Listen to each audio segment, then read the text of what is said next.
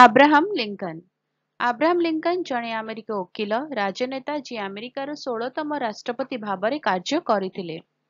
ସେ ଫେବୃଆରୀ ବାର ଅଠରଶହ ନଅ ମସିହାରେ ଜନ୍ମଗ୍ରହଣ କରିଥିଲେ ଯୁକ୍ତରାଷ୍ଟ୍ରରେ ଦାସତ୍ୱ ପ୍ରଥାକୁ ସମାପ୍ତ କରିବାରେ ଆବ୍ରାହମ୍ ଲିଙ୍କନ୍ ସଫଳ ହୋଇଥିଲେ ଚାରିଜଣ ପୂର୍ବତନ ରାଷ୍ଟ୍ରପତିଙ୍କ ମଧ୍ୟରୁ ଆବ୍ରାହମ୍ ଲିଙ୍କନ୍ ମାଉଣ୍ଟ ରଶମୋରରେ ଦେଖାଯାଆନ୍ତି ପନ୍ଦର ଏପ୍ରିଲ ଅଠରଶହ ପଞ୍ଚଷଠି ମସିହାରେ ଆବ୍ରାହମ୍ ଲିଙ୍କନଙ୍କ ହତ୍ୟା ହୋଇଥିଲା ତାପରେ ସେ ଶେଷ ନିଶ୍ୱାସ ତ୍ୟାଗ କରିଥିଲେ ଧନ୍ୟବାଦ